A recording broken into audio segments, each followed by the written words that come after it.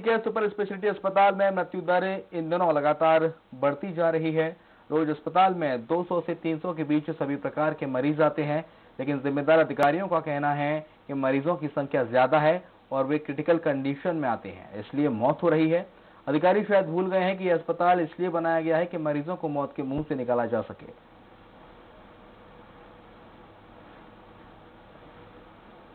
आया है कि मृत्यु दर यहाँ उछाल आई है। क्या कुछ कारण है इस मुद्दे पे चर्चा के लिए हमारे साथ अधीक्षक कमल किशोर जी हमारे साथ हैं तो आइए उनसे जानते हैं। सर, मृत्यु दर अप्रैल महीने में 43 परसेंट पहुँच चुकी है। क्या कारण है? एक्सीडेंट के केसेस बहुत ज़्यादा हुए हैं। आपको मालूम है अभी ये लोग छुट्टियों का समय है और एक्सीडेंट के कारण ये जो आया है। एक्चुअल में मृत्यु दर अस्पताल के मिसमैनेजमेंट के कारण नहीं होता है और बहुत सारे कारण रहते हैं। जैसे हमारे पास में तीन डिपार्टमेंट जो मुख्य है। जले हुए मरीज़ आते हैं हमारे पास, अस्सी से पचासी परसेंट बर्न वाले। अब उसमें क्रिटिकली हील हो जाते हैं बहुत सारे पेशेंट तो उसमें थोड़ा ज़्यादा रहता है। उसी प्रकार न्यूरो सर्जरी जो डिपार्टमेंट है, उसके अंतर्गत हेड इंजरी के जो पेशेंट आते हैं, जिसमें बहुत सारा ब्लड चला जा रहता है और हमारे डॉक्टर लगातार उसको मैनेज करते रहते हैं। परंतु ऐसा मुझे नहीं लगा कि हमारा मृत्यु दर बढ़ा है करके, क्योंकि नंबर ऑफ़ केसेस हमारे पास ज़्यादा है तो हमको ऐसा लगता है कि मृत्यु दर बढ़ा है।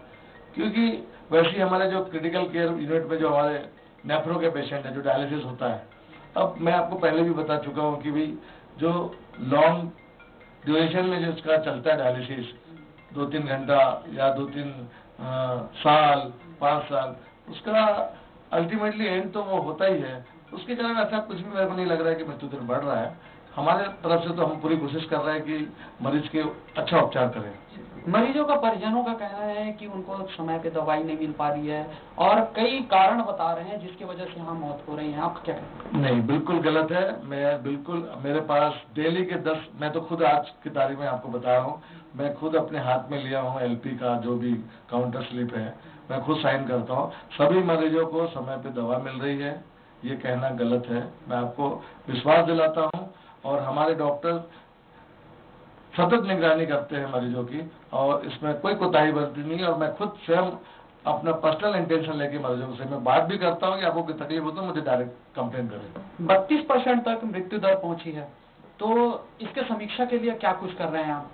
देखिए हमारे यहाँ प्रति माह जो मृत्यु दर के बारे में चर्चा की जाती है हर विभाग का एक एक रेसिडेंट एक कंसल्टेंट हम उस पर चर्चा करते हैं कि कारण क्या है।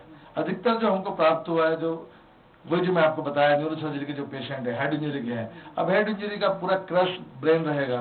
अब वो हमारे कोशिश से दो तीन दिन ज़िंदा रह सकता है। उसके बाद देखो, जो चीज़ नेचुरल है, वो तो हम कुछ बदल नहीं सकते उसको। उसी प्रकार जो आपको मैं बताया किडनी डिज़ीज़ की जो बीमारी है, लंबी बीमारियों से पीड़ित रहते हैं। परंतु आप जो बोल रहे हैं मृत्यु दर बढ़ गया बढ़ गया मुझे नहीं लगता क्योंकि हमारे पास नंबर ऑफ़ पेशेंट ज़्यादा है इसलिए आपको रेशियो ज़्यादा लग रहा है। जो डेथ रिव्यू कमेटी है उनका क्या समीक्षा में क्या सामने आया है? मैंने वही बताया ना आपको मोस्टली जो पेशेंट आते हैं या तो क्रिटिकल इल रहते हैं नहीं तो आप मरीज़ से सर्वे करा लीजिए आप जो मरीज़ नॉर्मल रहते हैं या जो ठीक हो जाते हैं जैसे कई मरीज़ हमारे डायलिसिस के मरीज़ बहुत अच्छे हो जाते हैं और कई मरीज़ तो चार पाँच डायलिसिस के बाद में नॉर्मल ज़िंदगी जीते हैं। और जो मरीज़ लगातार दस साल, पंद्रह साल से करवा रहे हैं तो बहुत दिन तक तो काम नहीं कर सकती कोई चीज़ आर्टिफिशियल ये थे हमारे साथ डीकेएस हॉस्पिटल के अधीक्षक कमल किशोर जी, जिनका कहना है कि उनके पास number of patient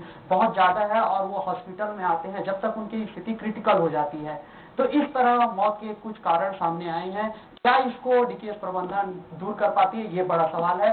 camera man Rahul के साथ सत्या राजपूत, स्वराज एक्सप्रेस, राज